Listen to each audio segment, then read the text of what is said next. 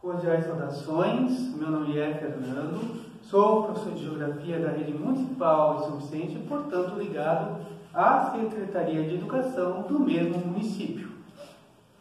Na aula passada, nós falamos sobre os fatores endógenos, isto é, internos, e dos fatores exógenos, fatores externos ao planeta. Mas falei superficialmente dos fatores exógenos. Por isso, nós vamos falar de novo dos fatores exógenos, desses fatores externos. Os fatores externos que modelam a superfície do relevo terrestre. Mas, para falar da formação dos relevos, eu preciso também falar do clima e de algumas coisas do planeta Terra, principalmente, principalmente do clima. A palavra clima vem do, do grego klinein, que significa inclinar. Os gregos da antiguidade sabiam que o planeta Terra tem uma inclinação. E essa inclinação é que forma as latitudes, e por isso que cada latitude tem um clima diferente. Também é importante dizer que na linha do Equador, a velocidade média da rotação do planeta é de 1.600 km por hora. Conforme as latitudes vão crescendo, seja para o norte, seja para o sul, a velocidade também vai diminuindo, até chegar a 90 graus, onde a velocidade é praticamente nula. Então, tudo isso vai ajudar no entendimento, na compreensão de como agem os fatores externos, os fatores exógenos. Bom, é, onde as rochas, todas as rochas, elas acabam sofrendo com, com a passagem do tempo uma degradação, uma deterioração. Nos desertos e nos lugares muito gelados, essa degradação ela é mais lenta. Ela é mais lenta porque o frio conserva e também o ar seco. O deserto tem ar seco então esse ar seco acaba preservando as rochas. Não é o nosso caso que vivemos num clima, num país onde tem clima tropical, clima subtropical, clima equatorial. Não é o caso do Brasil, por exemplo. Há várias formas de como as rochas degradam. E vou colocar aqui algumas formas congelamento, a cristalização ou salinização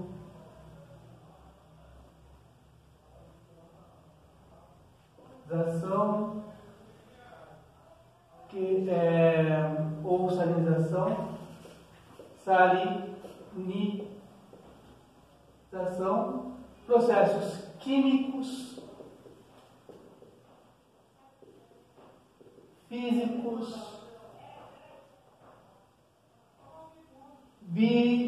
biológicos. Então, esses todos, ó, congelamento, né, cristalização ou salinização, processos químicos, físicos e biológicos, são os fatores externos, são os fatores exógenos que modelam o relevo terrestre. No caso do congelamento, o que acontece?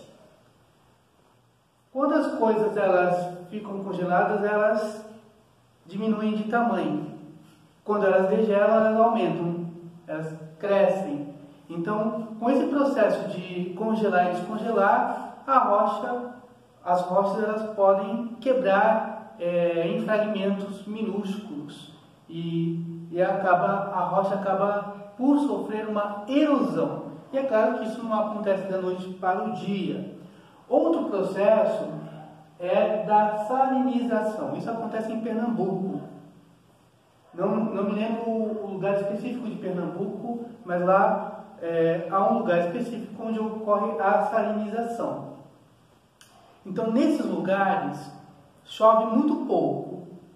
Os sais estão no fundo do, do solo. Então, quando a cai a, quando ocorre a precipitação, lembrando, precipitação é a chuva. Quando ocorre a precipitação, Os sais, eles ficam, eles, estavam no fundo, eles ficam em cima. Num processo onde chove bastante, esses sais acabam indo para o mar. Mas como a, a, a precipitação é baixa, isto é, chove pouco, o que, que acontece? Esses sais ficam ali, acabam secando, ficam no meio das rochas, se integram, as rochas viram cristais, e esses cristais vão se aglomerando e vão quebrando as rochas, vão enfraquecendo as rochas. Então a rocha acaba se degradando, ela acaba se partindo, se fragmentando em pedaços bem pequenininhos nesse processo de cristalização. Um outro processo é um processo químico. E como é que ocorre o processo químico? Como? Pela chuva. A chuva, a chuva é um processo químico, porque a chuva não é só água. A chuva é composta de gases. A chuva é composta de nitrogênio, de oxigênio e de gás carbônico. Então, quando a chuva cai na rocha, os gases que, que são as gotículas, elas interagem com a rocha, o oxigênio interage, o nitrogênio interage, o gás carbônico interage, e aquilo acaba também num processo químico desgastando a rocha com o processo contínuo, que é um processo contínuo, é o processo químico.